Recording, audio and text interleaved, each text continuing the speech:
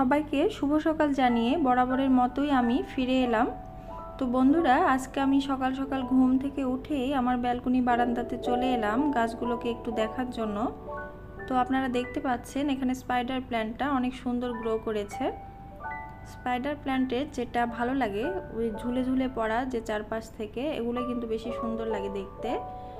আর areca পামগুলো অনেক সুন্দর হয়ে উঠেছে। আর এই যে দেখুন, এখানে কিন্তু একটা চারাও গজিয়েছে নতুন করে।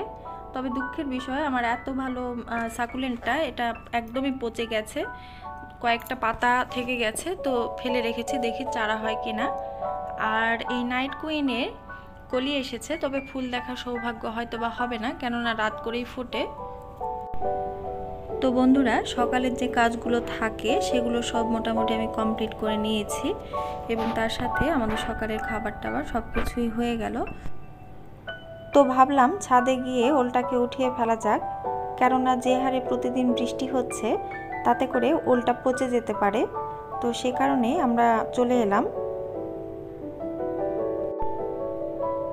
আর বন্ধুরা, গতবারে আমরা যে ওল গাছটা লাগিয়েছিলাম সেটাতে কিন্তু বেশ অনেক বড় একটা ওল হয়েছিল, চার পাঁচ কেজি ওজন হয়েছিল সেটার। তো এবার এটা কেমন হবে দেখা যাক। আর বন্ধুরা, আপনাদের সাথে আমি আরেকটা কথা শেয়ার করে নিই। প্রথম যখন আমরা ছাদে মাটিটা উঠিয়েছিলাম মানে এই মাটিগুলো, তো তখন কিন্তু এই মাটির অবস্থা মোটেও এরকম ছিল না। মাটিতে যে স্বাভাবিক জৈব উপাদানগুলো থাকে, সেগুলো একেবারেই ছিল না বললেই চলে।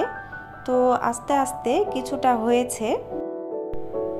আর আমিও মনে মনে আরেকটা কথা ভেবে রেখেছি যে কিছু গোবর কিনে সেগুলোকে পচিয়ে এই পুরোপুরি জায়গাটার মধ্যে মিশিয়ে দিয়ে তারপর এর ভিতর কিছু ফলজ গাছ লাগিয়ে দেব।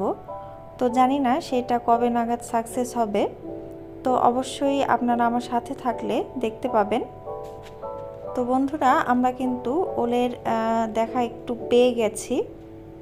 আর কিছুক্ষণের মধ্যেই আমরা দেখতে পাবো আমাদের কাঙ্ক্ষিত সেই ওলটা কত বড় হয়েছে এবারের।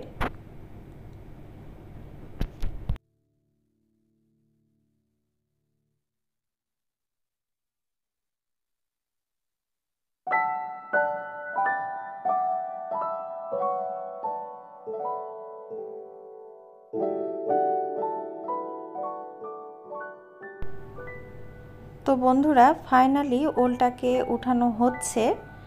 তো এর চেহারা দেখে কিন্তু এবার আমি স্যাটিসফাইড না। কেননা গতবারেরটা তো বললামই, চার থেকে পাঁচ কেজি হতোই। আর এবারেরটা তো খুব বড় মনে হচ্ছে না। কেন এতটা ছোট হলো, এর কারণ আমি বলতে পারছি না ঠিক।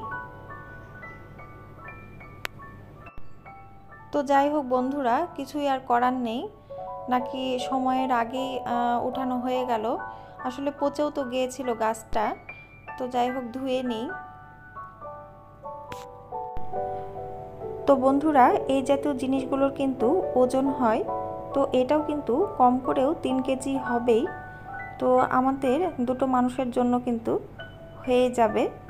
তো যাই হোক, এ ধরনের মানে নিজ হাতে করা জিনিসগুলো কিন্তু আবার একা খেতে ভালো লাগে না। কাউকে দেওয়ার মধ্যে কিন্তু বেশ একটা আনন্দ খুঁজে পাই।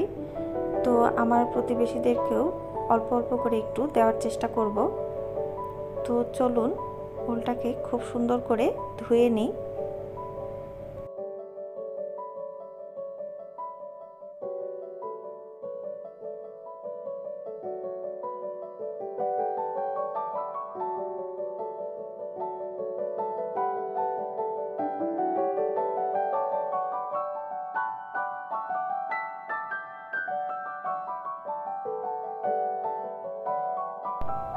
তো বন্ধুরা, আমাদের ওলটাকে ভালো করে ধোয়া কমপ্লিট হয়ে গেল। তো এইটাকে এখন সুন্দর করে জলটা ঝরিয়ে একটু শুকিয়ে নিতে হবে। আর এইখানে দেখুন এই কালো মরিচটা, এটা কিন্তু প্রথমের দিকে বেশ সুন্দর একটা সাইজ ছিল। এখন আজকে দেখছি একটু করে ছোট ছোট হয়ে গিয়েছে। এখন গাছের বয়স বেশি হওয়াতে এরকম হলো কি না বুঝতে পারছি না। তো যাই হোক এটা কিন্তু একটা সুন্দর ফ্লেভারও আছে। তো কয়েকটা উঠিয়ে নিই। চলুন। আর বন্ধুরা, এখানে যে গ্রিন মরিচটা দেখতে পাচ্ছেন, এটা কিন্তু এবারেরই নতুন গাছ। তো এই কারণে দেখুন, পাতাগুলো অনেক সুন্দর চকচকে একদম, লাগছে দেখতে। আবার মরিচগুলো কিন্তু মোটামুটি বেশ ভালোই হয়েছে। তো এইখান থেকেও কয়েকটি মরিচ আমি এখন উঠিয়ে নেব। আর বন্ধুরা, আপনাদের উদ্দেশ্যে একটা কথা বলছি। আপনারা যদি কেউ আমার চ্যানেলে আজই প্রথম হয়ে থাকেন, তো প্লিজ আমার চ্যানেলটিকে সাবস্ক্রাইব করে আমার পাশে থাকুন। তো বন্ধুরা, আজকের মতো এখানেই আমি আমার ছোট্ট ব্লগটি শেষ করছি। আপনারা সবাই অনেক অনেক ভালো থাকবেন।